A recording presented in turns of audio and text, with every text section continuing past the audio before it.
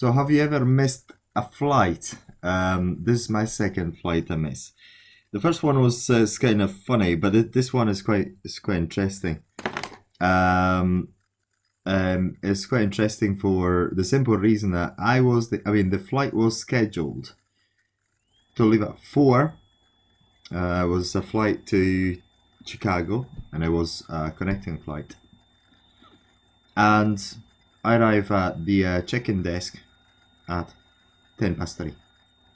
They tell me. I mean, I didn't have to check any any baggage or anything, uh, and they tell me that um, that's it. Check-in closed. There's no way I'm gonna get in the flight. Um, this flight has cost in total return. We're talking about um, uh, talking about yeah, almost a thousand pound, a thousand US dollars. Let's have a look. Um, yeah, let's, let's actually get into it. Um, now, it's been booked, I mean, it's Norwegian Airlines. Uh, it's quite a good lesson, so uh, it's Norwegian Airlines, and this is what I've got from Kiwi. I actually booked it through Kiwi. Kiwi was used before, so look. If I got it here, yes, on the 30th. Booking received, and what they say in here once I made my uh, my point and my complaint is uh, uh, so that we can actually see I'm gonna open it here that we can see it. First of all we're sorry that you're here and unable to take your flight London to Chicago. Weber like to uh, we'd like to assist you. Unfortunately there is no cover from the Kiwi guarantee. Article 4.1 point B is stated that where is it nobody knows I mean, what is this legislation or something? Who knows? It stated that the Kiwi, uh, that the Kiwi.com guarantee, again, I don't know where to find that, the article and all that, applies only to flight delays, cancellation flights announced uh, 48 hours prior and so on. Flights which may negatively impact your ability to reach your destination or arrival at the destination shall change by more than uh, for 24 hours scheduled arrival. Uh, due to flight delays or cancellations, uh, you would either miss your um, you would either miss your flights connections or your flights would be cancelled. And then scenario B, uh, repair the scenario B.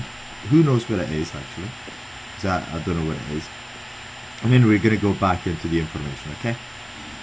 Upon checking uh, on our end, uh, the flight is not delayed and departs on schedule.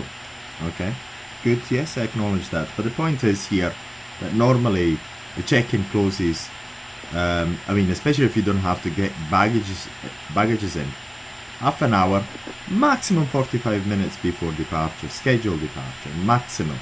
And I didn't have any luggages whatsoever to, to check in. And then we looked at it in the uh, in the ticketing. Okay, so this is why it's very odd and I wasn't expecting it whatsoever. I mean, come on.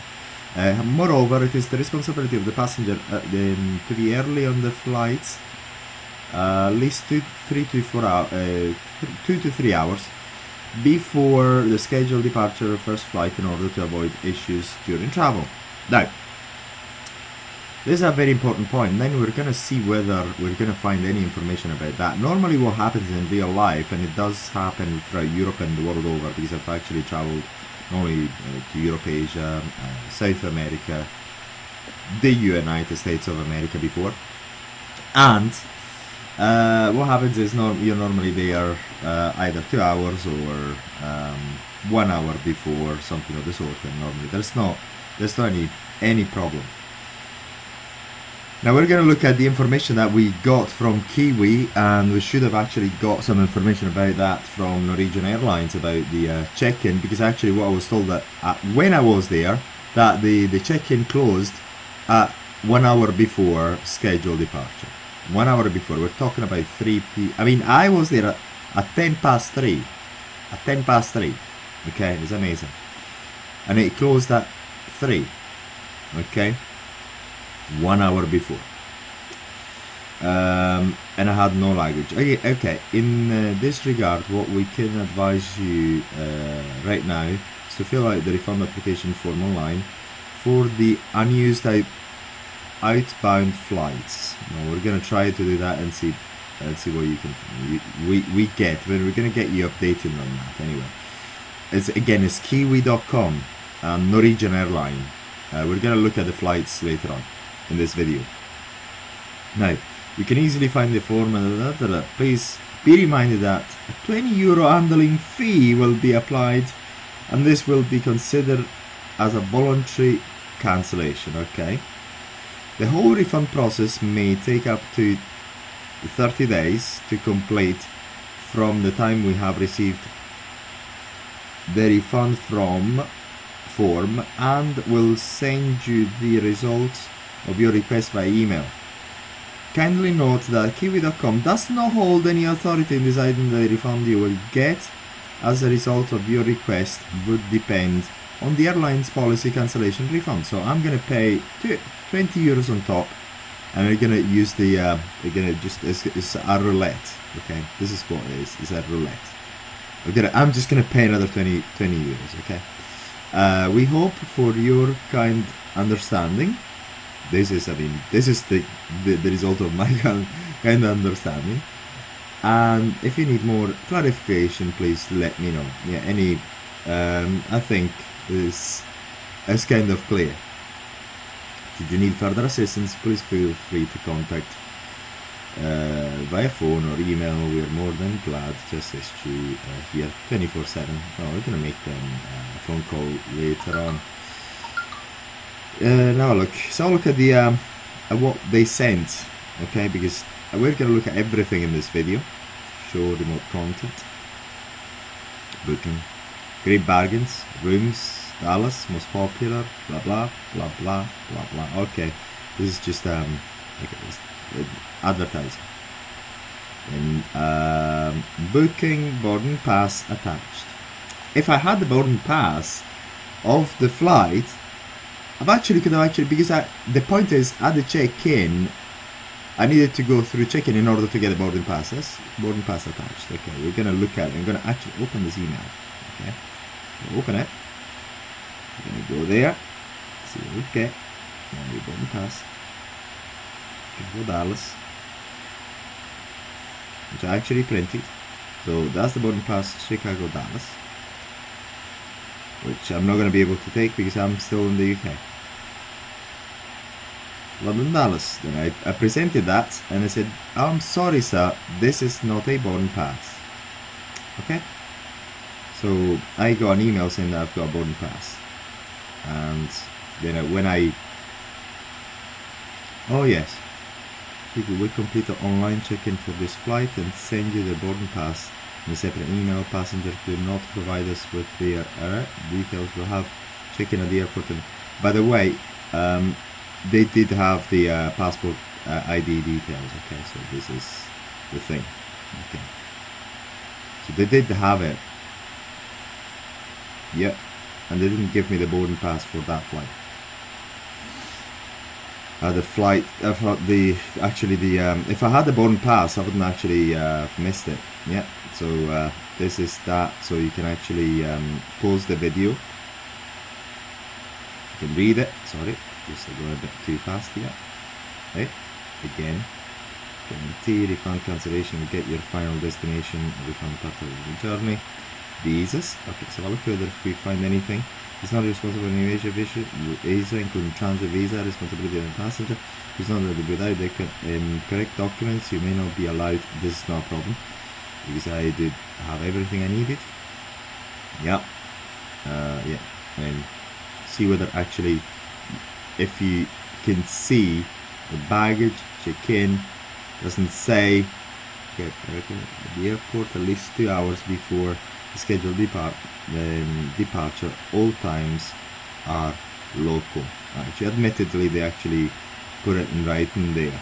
So that admittedly at least which will be free of charge check-in personally at the airport will be okay I mean, in total, yeah, they did actually say it there, which is good. On that. Um, yes, but I mean, come on, they didn't actually say well, that well, it would be. I mean, that's it. One hour uh, before the scheduled flight, they wouldn't issue any boarding pass. M- wha- One hour. Um, one hour before the the scheduled flight. Is to say from three. The scheduled flight was at four, and then from three onwards, I wouldn't actually have given any um, any um, boarding passes. This is all I needed is just a boarding pass. Very simple. A simple boarding pass. Checked in online, send a boarding pass and a separate email. Don't forget to print it before the airport passengers could not provide us with their ID, which I did. Uh, so it would have been, uh, if I had the, the boarding pass, I wouldn't have actually missed that. Okay, so uh, yeah, there's nothing there. Nothing there. See whether you can find it. I mean, I'm just uh, trying to find myself, okay? I only had one uh, baggage, the hand baggage, okay, five kilograms, which was checked and all that. I mean, I was, I mean, I was also sure that, that only I had only a backpack, basically a very small one. No, so no, subject to the terms and conditions, more information available on their website. Okay, I maybe should have actually gone, should actually um, uh, gone onto their website uh, with all due fairness. But obviously, I mean, when you buy tickets, when would you go in and check on their website? Okay, that's one. We've gone through it. So we're gonna go in and we're gonna go in options, see options, show them the content. So we've got that. Download e-ticket. See I actually made. Manage my bookings. Invoice. Mm, travel documents attached. So look, I'm going to open that one. So we've got e-ticket. It's not acceptable as a boarding pass, unfortunately, for that flight. No. It's actually still painful to, to see this, and I'm, I'm here uh, looking at this. It's quite painful. I actually should. Um, okay, that's it. That's basically nothing new. We've got this, okay. But this is when I've been uh, terms and conditions. It says anything, something more on terms and conditions, which I didn't read in advance. And obviously, um, everyone everyone reads them. Here guarantee, optional costs and charges, service agreement, conditions of carriage, and all that. Charge, liability of damage, dispute resolution. Um, case dispute, Czech Republic. Oh yes, so I'm gonna go to the court of Czech Republic now. Gonna file dispute. Yeah, I don't think so.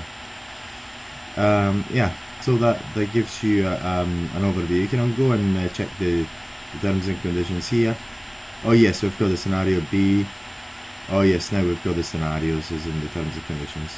Okay, beautiful. But yeah, that's pretty much the the whole thing. Okay, so what I'm gonna go ahead and do right now is the uh, uh, I'm gonna try and get this thing refunded. and I'm gonna give it a try together. Manage my bookings. We'll try it together. See whether uh, I tried to log in, but um, I couldn't do it before. Um, yep, that's it. See whether I don't think I've ever uh, set up a an, uh, an online account with them. Mm, checking credentials and try again. Try to forgot password and all that. Um. So look at what happens. Save. Right. Account. There is an account associated with this email address with uh, receive and okay. I go and send off? As soon as I get I'm to stop the video for a while to, to get that passport. The passport not shown in the video. Gonna stop right now to wait on the email. So we're gonna carry on. I've um, reset the password to see whether we can actually log in now. That one. There's my bookings. See whether we can do that. Sign in. Again.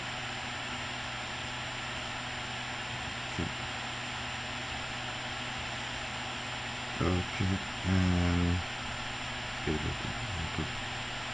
additional uh, hotels, car hire, flight, change. Oh, it pains me so much. See it there. Edit passengers. Probably we can change anything there. Basically, the, the boarding pass that wouldn't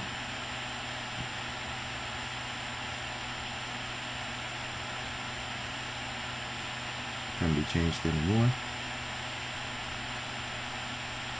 London, Dallas, be changed anymore. Can be changed. So look.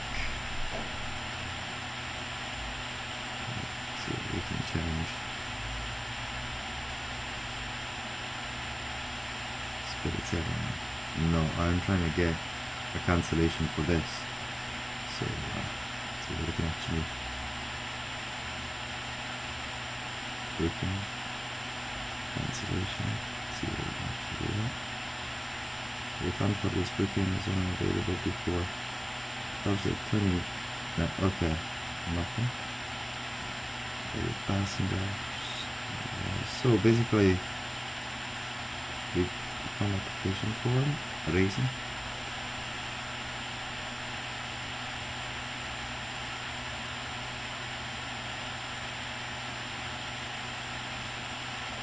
So I'm going to say description. I was at the check-in desk at Gatwick Airport um, at 3.10 p.m. and they did not and they did refuse to print my boarding pass pass because they said the check in closed at 3 p.m. despite the flight being scheduled for 4 p.m. to depart, uh, scheduled to depart, depart 4 p.m. Select all of them. One, two, three, four. It's obviously everything has been that's yeah. Choice. Oh, I think I want a complete refund, so I'm it.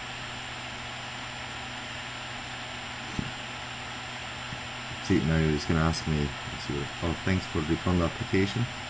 It will take to 30 days and we'll let you know the result by email. Enter manage my booking. So look, I'm just going to click on that. Yeah, nothing. Okay, that's pretty much it for this video. We'll uh, let you know um, when we hear back from these uh, guys.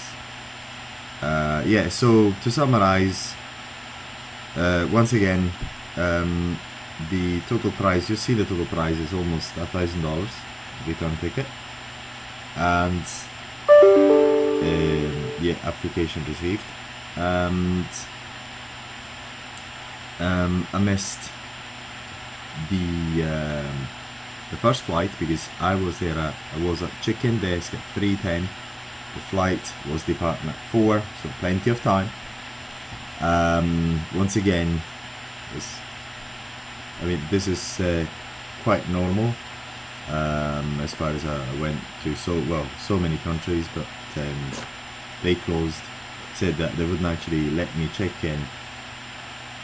Uh, not even check in a baggage don't because I didn't have any baggage to check in wouldn't actually um, again Norwegian Airlines um, the check-in was closed therefore it wouldn't give me a boarding pass. If I had a boarding pass I would have been I would have actually gone through security. I've had I have my, uh, my backpack with me everything was, was ready. So I only needed a boarding pass for that not to happen. But I actually got the wrong boarding pass the one that I would have got quite shortly uh, I think I suspect it's actually done possibly on purpose because if I I mean it's more likely to to I mean once you're there uh, you're on the first flight then you have that guarantee therefore I have to um, make sure you're gonna go and get on the second flight so uh, if something is wrong in terms of a delay or something then it's a bollock for them. So it's much statistically it's much better if they not to give you the first boarding pass. So if you if you miss it they actually if they actually don't print the boarding pass it's your fault. And that's simply that. So um, pretty much because they didn't print they didn't want to print the boarding pass. They said the check-in was closed. Again 310 10 past 3 scheduled flight at 4 the uh, the entire thing was gone. So we'll have the results of um, of this and we'll let you know again. Uh, the companies involved kiwi.com um, who if I want to take to court I say I wouldn't I'm not that sort of person. I would do it um, in the Czech Republic which I don't think I'm gonna go and learn Czech or uh, get a Czech lawyer to actually do that. So basically something goes wrong with with them then um, have fun uh, putting taking them to court in the Czech Republic. Uh, unless you're Czech of course. Then Norwegian Airlines um, we're gonna go back and just list the um, the companies just in case so, so record so Norwegian Airline has done this this nice thing. Didn't allow me to get onto the, the flight from London to Chicago Chicago. And then yeah Dallas to Los Angeles from no Spirit Airlines I mean this one is it's not nothing I can actually say to them. Uh, yes and again look at how nice it is. A thousand US dollars oh yes. Very nice. Okay that's pretty much it. Um, peace out. Uh, is um, um, is Easter? Have a nice Easter